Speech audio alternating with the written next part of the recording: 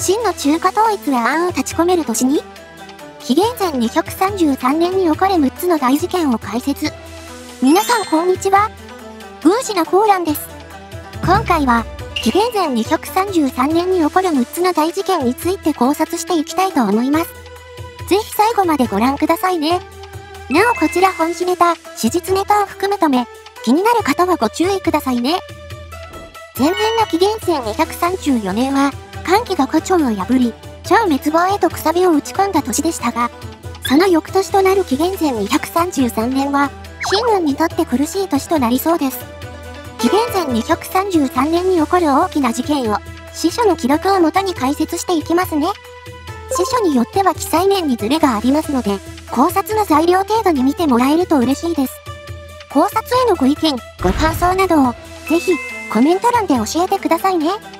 もし面白いと思ったら、動画下からチャンネル登録と高評価をお願いします。1、事件1、平洋、武将の陥落。まず本編で最も直近に起こる事件として、平洋、武将の陥落が挙げられます。四季、飛行本記によると、この年には寒気が蝶へ再進行を行っており、彼が蝶の幼少である2章を陥落させたと記録されています。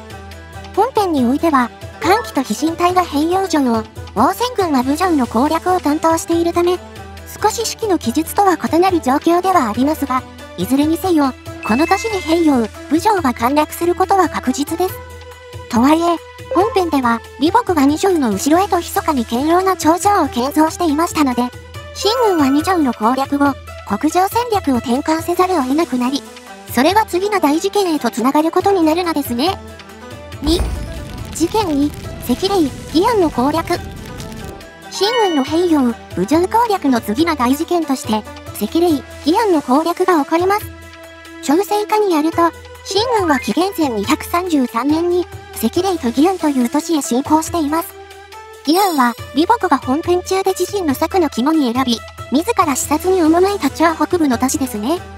秦軍は李牧の頂上によって、南から関丹へと攻め進めなくなったので、頂上を迂回して関丹を攻める拠点を確保すべく、ギアンのダッシュを目論むのでしょう。ちなみに式の記述によると、秦軍は北伐によって見事にギアンを陥落させており、その際にギアンにいた長将を討ち取ったと記されています。一見、ギアン攻略は秦軍の快進撃のように見えますが、ギアンには李牧が何らかの策を施して、罠を張っている可能性が考えられます。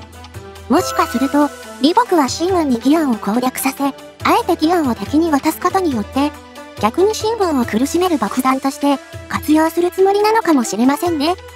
3. 事件3、非下の戦い。秦軍が超北部へと攻め進んだところで、この年の次の事件が勃発します。いわゆる寒気軍大敗の戦、非下の戦いですね。調整家によると、趙は紀元前233年に、李牧を秦軍の迎撃に出陣させており、両軍は非下で激突し、李牧が大将を収めたと記されています。この非下の戦いの様子は、戦国策という史書に記されており、それによると、李牧は非下の戦いで寒気軍を散々に打ち破った後、秦軍の大将であった歓喜を討ち取った、と記載されています。史実の通りに本編が進むのであれば、この年に歓喜軍は李牧軍に大敗を喫し、六将歓喜は李牧軍の手によって討ち取られてしまうことになりそうですね。ただし別の司書によると、歓喜は李牧に大敗したものの、彼は敗走したとのみ記されていることから、歓喜は生き残る可能性もありそうです。敗戦後の歓喜の動向については、また改めてじっくり考察したいと思います。4、事件4、李牧が武安君に。非下の戦い後の大事件としては、李牧が武安君に報じられています。当時、秦軍の侵攻は破竹の勢いであり、列国はこれに抗うむ、連戦連敗という状況でした。李牧はそんな秦軍の侵攻を見事に撃退し、甚大な被害を与えているのですから、趙は李牧の大将を国を挙げて祝い、戦意高揚に活用したのでしょうね。ちなみに武安君というのは、中華において非常に名誉な称号であり、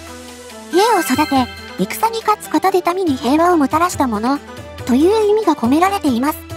武安君と呼ばれた者は、李牧の他に、過去に合唱軍を成立させた中央家の祖神や、旧六将として列国を恐怖させた真の英雄、白騎などがいます。この英雄たちと同じ称号を与えられたことを鑑みると、李牧は非下の戦いの後、長軍内において、各界すらも口を挟めないほどの絶大な影響力を手に入れて、万全の状態で秦軍との戦に臨むのではないでしょうか。ただし、李牧の未来を考えると、この出世によって各界らの妬みを買い、最終的には、李牧の悲劇的な最後を招き寄せてしまうのかもしれませんね。5. 事件後、官費の派遣とし、これまで隊長戦線が注目されていましたが、紀元前233年には、関陽でも事件が起こります。いわゆる中核史の天才放火、官費の新派遣ですね。官費とは、漢王の弟にして、李氏と同じ師の下で法を学んだ男であり、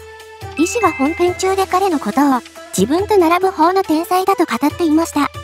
官費は、紀元前233年に、漢からの使者として神王の元へと派遣されます。聖はもともと、官費の著作である官費氏に感銘を受けていたこともあって、使者として真を訪れる官費を気に入り、進化として迎え入れようとしますが、官費と同門の李氏は、聖に官費が登用された場合、自分の立場がなくなってしまう、と危機感を抱きます。そこで李氏は一計を案じ、官費は官の患者だという巨峰を聖に伝えて、官費を投獄させることに成功します。そして李氏は、獄中の官費に毒を飲ませ、彼を暗殺するのですね。李氏は最終的に、真を滅亡させる最悪の関心の一人となりますが、本編中の李氏は今のところ、そういった負の面を見せていません。もしかすると本編では、この歓喜の一件を通して李氏の心の闇が描かれ、後の新滅亡の伏線となるのかもしれませんね。6、事件6、漢、秦への心中願い。この年の最後に起こる事件が、漢王の秦への心中願いですね。大まかな春秋戦国時代の史実を知っている方であれば、漢は六章、銅が滅ぼすという話を聞いたことがあるかもしれませんが、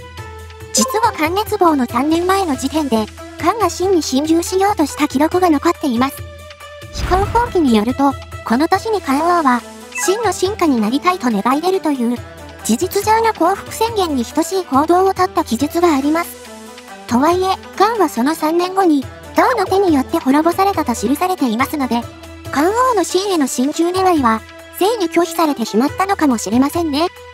作中の漢には、まだ楽和漢という将軍がおり、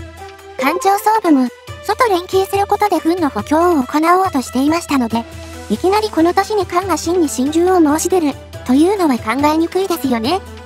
そのためキングダムでは、漢王の侵入願いは、漢が仕掛ける外交策の一環として、何らかの狙いのために行われる、と考えられそうですね。